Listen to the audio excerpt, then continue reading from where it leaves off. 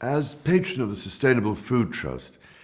I'm delighted to be able to contribute to this countdown to COP26 virtual TEDx event and to add my support alongside a, a, growing number of food businesses, NGOs, banks, investors, and others to their work in developing what has the potential to become an internationally harmonized framework for measuring farm sustainability.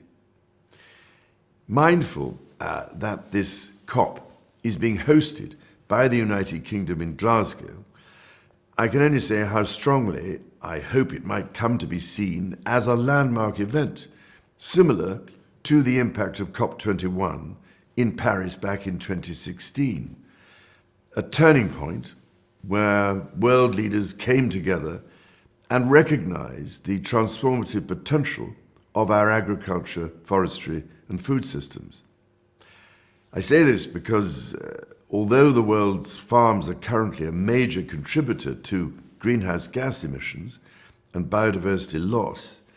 since agriculture has occupied an ever greater proportion of all habitable land area,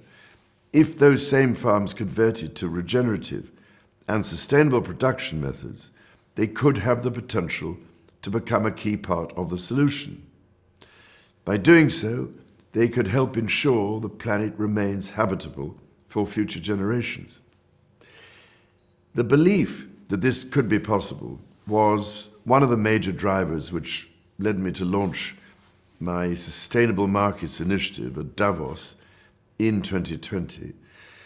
and more recently, the Terra Carta project at the beginning of 2021. Both were based on my conviction that only by harnessing the power of the market to help move towards net zero and reinstate the lost biodiversity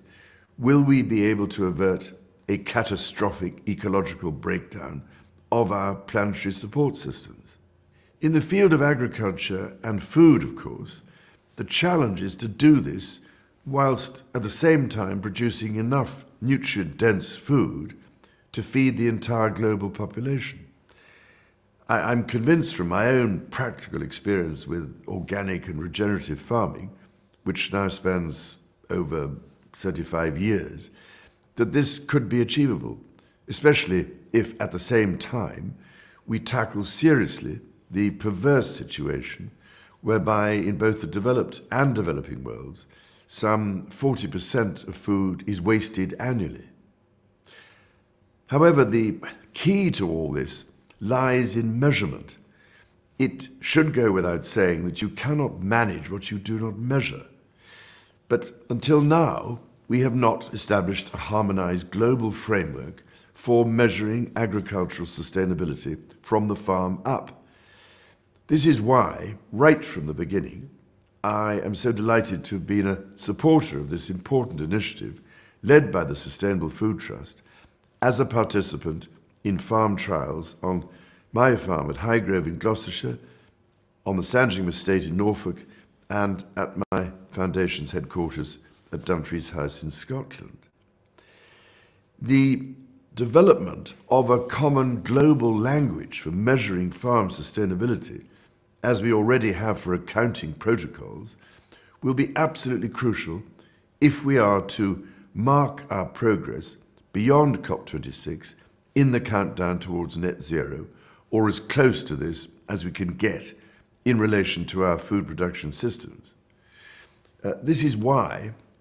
my Sustainable Markets Initiative has set up expert and practitioner led roundtable discussion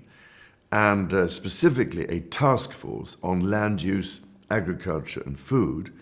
which will be adopting this framework as a means of benchmarking agricultural sustainability and crucially exploring the whole issue of accounting properly for the real and often hidden environmental costs of industrialized agriculture through the polluter pays principle. Now, I have long believed um, that in so many ways the private sector holds the key to help deliver the change and the solutions we need. To achieve this with agriculture, we also need a food labeling system which empowers citizens in their role as consumers to have the information they need to make informed decisions about purchasing food products whose supply chain genuinely reduces emissions and other forms of pollution, uh, protects biodiversity, and improves public health. All this could be possible once we have a harmonized means of measuring farm sustainability at international level. Perhaps at long last, we are beginning to wake up to the reality that what we do to nature, we in fact do to ourselves. Of course, we cannot escape the effect of our impacts on the planet because we are part of that system, a part of nature, not apart from her. So, measurement of the impacts of land use, including forestry and agriculture, and connecting them to government policy incentives, the investment community, and uh, certification from sustainability audits through to food labeling systems could be transformative. With this um, framework of measurement in place, we might finally have the potential to enable a global renaissance of truly sustainable agriculture and food production. I could only say I very much hope this happens, not just because it would be a wonderful legacy for the COP26 event, but also because we have an absolute responsibility to the next generation to enable a shift towards methods of food production which are working in harmony with nature.